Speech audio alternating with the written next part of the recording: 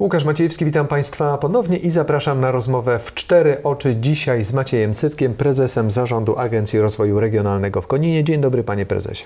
Dzień dobry Panie Redaktorze, dzień dobry Państwu. Panie Prezesie, w piątek uczestniczył Pan w ważnym wydarzeniu w Poznaniu. Wielkopolska mm, przystąpiła wtedy do Powering Past Coal Alliance, czyli takiego stowarzyszenia, które, którego nazwę można przetłumaczyć mhm.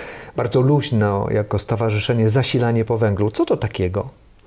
Ach, to inicjatywa dwóch krajów, Kanady i Wielkiej Brytanii, albo Wielkiej Brytanii i Kanady, która ma gdyby skupiać regiony, e, kraje, firmy, które e, w swojej jak gdyby strategii chcą odchodzić od węgla i się wspierać w tym działaniu. To bym powiedział dosyć taki prestiżowy klub, do którego Agencja Rozwoju Regionalnego i w ogóle Wielkopolska Wschodnia jako pierwsza przystąpiła już w 2021 roku.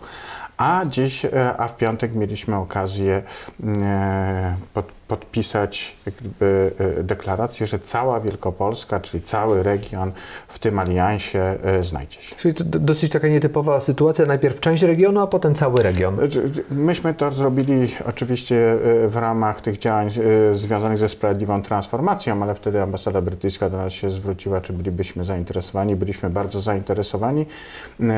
U nas było to prostsze, chociażby ze względu, że nie musieliśmy spełniać tych wszystkich kryteriów, które są związane z regionami, czy które musi tam z Ministerstwem Spraw Zagranicznych współpracować i tak dalej, i tak dalej.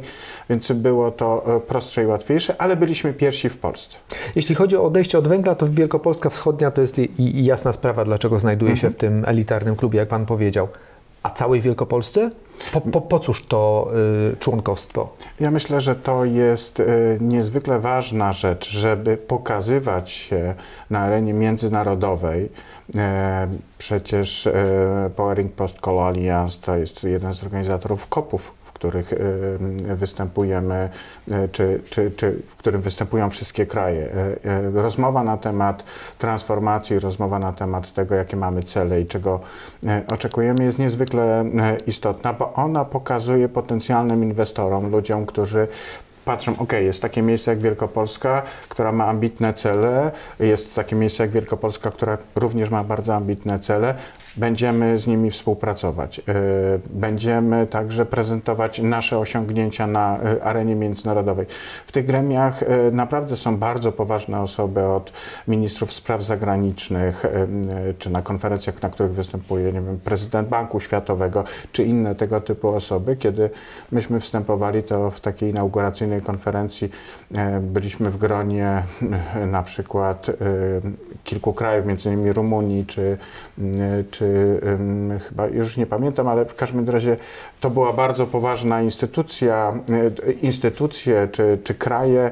E, ja tam byłem jakby rangą najmniej istotny, ale mimo wszystko okazało się, że mieliśmy coś do powiedzenia w tej kwestii e, i pokazywaliśmy nasze osiągnięcia. Myślę, że to jest ważne, żeby być i żeby pokazywać, że jesteśmy progresywni, że się zmieniamy, bo inwestorzy na to patrzą i chcą współpracować z takimi krajami.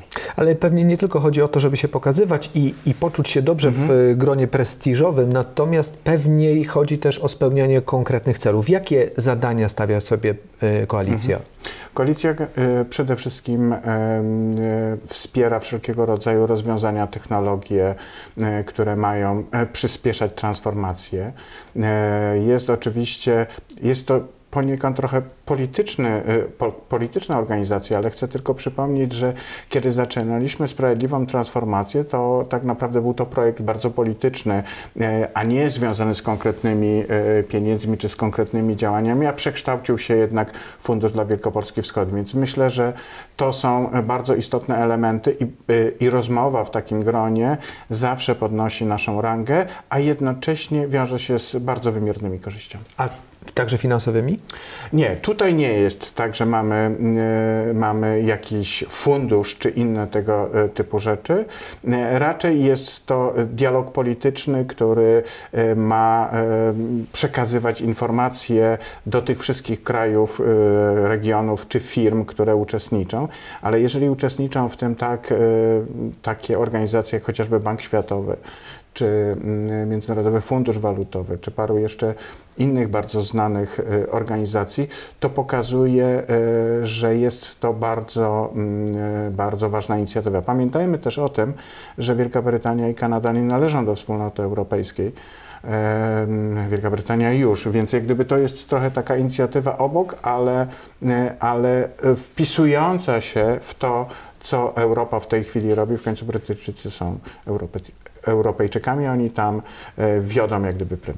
A, a propos Wielkopolski i Wielkopolan, co my będziemy w tym e, elitarnym klubie robić? Raczej uczyć się od innych, czy raczej dzielić własnym doświadczeniem?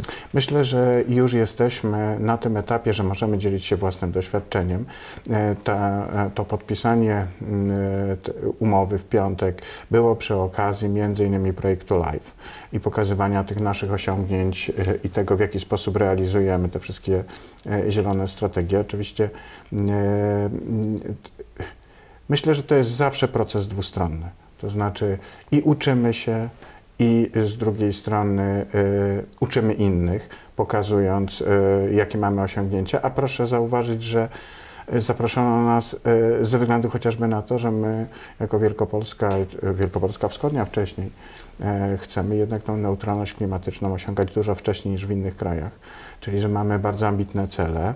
E, i e, to zresztą skutkuje różnego rodzaju spotkaniami, konferencjami, na które jesteśmy zapraszani, żeby przedstawiać różnego rodzaju projekty z tym związane, chociażby projekt e, pracowniczy, który jest wypracowany w tej wspólnocie z jednej strony przedsiębiorstwa, związków zawodowych, organizacji, samorządu, który no, jest uznany na przykład za jeden z lepszych e, w Europie, jak nie najlepszy w tej chwili e, projekt czy e, inne z tym związane projekty, które pokazują, że mamy się czym pochwalić. A z drugiej strony, oczywiście jest to tak, że ta ścieżka zawsze powoduje, że warto posłuchać, co inni robią i ta obecność jest niezwykle istotna. Ja mam mm, takie przekonanie, że nasza sprawiedliwa transformacja, która odbywa się na lokalnym y, rynku, nigdy nie byłaby możliwa bez tego międzynarodowego wydźwięku, tego, tych spotkań, na których właśnie mogliśmy podsłuchać czasami coś nowego, y, usłyszeć. Y, ten wymiar y, jest niezwykle istotny i myślę, że, mm, że cały proces sprawiedliwej transformacji dzięki tym międzynarodowym kontaktom dużo lepiej funkcjonuje. Zresztą ostatnio w styczniu byli u nas przedstawiciele z Rumunii, którzy byli na zaproszeniu organizacji pozarządowych.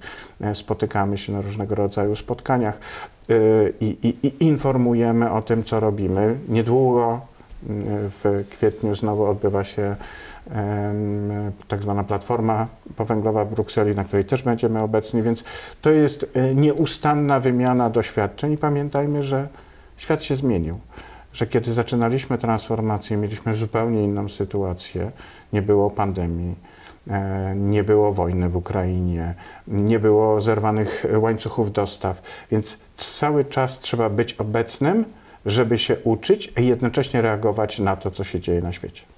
Ale fakt, że Wielkopolska Wschodnia jest w tym sojuszu już od trzech lat, e, a Wielkopolska jako całość mhm. włącza do niego się dopiero teraz, zmienia coś dla nas tutaj w regionie konińskim? Czy to jest tylko symboliczne przystąpienie z naszego punktu widzenia? Myślę, że dużo bardziej zmienia w, w regionie pilskim, w regionie leszczyńskim. Dla nas oczywiście jest to dodatkowy jak gdyby element. E, taką bardzo miłą sytuacją było to, że e, pani ambasador Wielkiej Brytanii e, zaprosiła mnie jako przedstawiciela, który już jest w tym aliansie, wcześniej przed podpisaniem na takie śniadanie, które się odbyło w hotelu Merkury i tam rozmawialiśmy w gronie, zresztą niewielkim, bo akurat tylko ja byłem, jeżeli chodzi o Polskę, e, ale także kilka osób z ambasady brytyjskiej właśnie na temat tego, co robimy, w jaki sposób to robimy. Pani ambasador była bardzo zainteresowana, więc to ma e, taki bardzo e, ważny wymiar. Tego spotkania by nie było. Oczywiście zaprosiłem panią ambasador do Wielkopolski. Myślę, że ta wizyta, która już kiedyś się odbyła, bo pani ambasador była w Wielkopolsce Wschodniej, dojdzie do skutku, ale dla całej Wielkopolski na pewno jest to ważny element, y, który pokazuje, że chcemy się zmieniać. No właśnie, yy, marszałek województwa Marek Woźniak o tej zmianie, o której pan przed chwilą powiedział, powiedział tak. Mm, Wielkopolska ma stać się pierwszym województwem w Polsce, które skutecznie wycofa się z przemysłu węglowego i to już do 2030 roku. Z naszego punktu widzenia Wielkopolski Wschodniej, regionu, który wyrósł na węglu, to jest yy, realna perspektywa?